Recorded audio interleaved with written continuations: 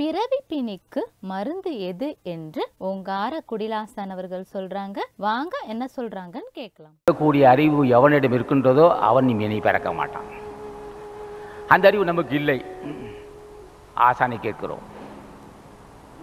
எனக்கு நீ அந்த அறிவு தர வேண்டும். பொருளை நான் அமுதமாக பார்க்கிறேன். என் பிறவி பிணி தீர்க்கக்கூடிய மருந்தாக பார்க்கிறேன். என் பாவத்தை பொடியாக்கக்கூடிய வல்லமை உள்ள ஒரு வாளாக நினைக்கிறேன். நீ தான் அருள் செய்யன்னு கேட்குறான் இதை பூஜை செய்தால் தான் புத்தி வரும். பூஜை செய்து வரவே சுட்டு போட்டாலும் வராது அவனுக்கு. தினம் தொடர்பு கொள்ள வேண்டும். எந்த அளவுக்கு பூஜை செய்கிறான் அது இப்படி கேட்கணும்.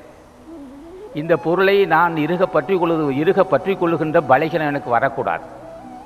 இந்த பொருளை கொண்டே நான் என் மனைவி மக்கள் சுற்றத்தார்கள் என் தாய் தந்தை உறவினர்கள் நண்பர்கள் இதுக்கும் செலவு செய்ய வேண்டும். ஏழை எளிய மக்கள் கன்னதானம் செய்து ஜென்மத்தை கடைத்திட்டு கொள்ள வேண்டும். இந்த பொருளை இந்த பொருளை கொண்டே கணக்கில் அடங்கா பிறவி எடுத்து செய்த பாவத்தை பொடியாக்க வேண்டும். இந்த பொருளை கொண்டே பெரியவர்கள் ஆசி பெற வேண்டும். இந்த பொருளை கொண்டே புண்ணியத்தை செய்து கொள்ள வேண்டும் என்ற உணர்வு நீ எனக்கு தர வேண்டும். பொருளும் கொடுக்க வேண்டும். இது நிலையில்லாது என்று உணரவும் வேண்டும். அதே பொருளை அமுதமாக நான் பயன்படுத்த வேண்டும். என்ற உணர்வு தினம் தியானம் செய்தாதான் முடியும். தியானம் செய்ய செய்ய தான் இந்த பண்பு வரும். தியானம் செய்யாத மக்களுக்கு இந்த பண்பு வராது. இருக பற்றி கொள்வான் மீண்டும் பிறவி எடுப்பான். இப்படி உள்ள இப்படி தினம் தியானம் செய்கிற மக்கள் டிவி பார்ப்பார்களோ கிரிக்கெட் பார்ப்பார்களோ? பார்ப்பார்கள். ஒரு பத்து நிமிஷம்.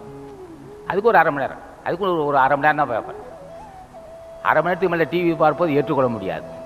உலக செய்தி ஈடுபடுவார்கள் அதுக்கு ஒரு பத்து நிமிஷம். எல்லாத்திலையும் இருக்க வேண்டும்.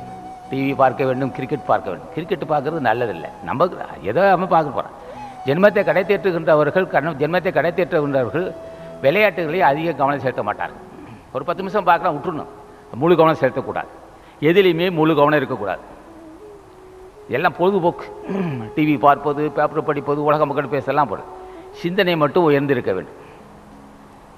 இப்படியே இப்போ உலக டிவி பார்ப்பான். பேப்பர் பார்ப்பான் எல்லாம் செஞ்சுக்கிட்டே இருப்பான்.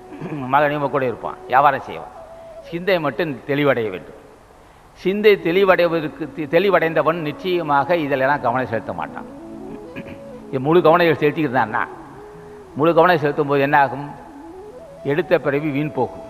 நாள் நாளாகும் நாளாக ஆக ஆக நிறைவேற வந்துடும் அப்போ நாட்களை வீணாக்கக்கூடாதுங்கிற அறிவு எப்போ வரும்னா நான் வீண் போது கழிக்கிறேன். என்ன பாவம் செய்தேனோ தெரியவில்லை. தினமும் திருவடியை பற்றி நினைக்கிறேன் முடியவில்லை. வீண் பொழுது கழிப்பதிலேயே கண்ணும் கருத்துமாக இருக்கிறேன். பொழுதுபோக்கிலிருந்து டிவி பார்க்கிறேன். பொழுதுபோக்கிலிருந்து தே- தேவையில்லாமல் பேசிக்கிட்டு இருக்கேன்.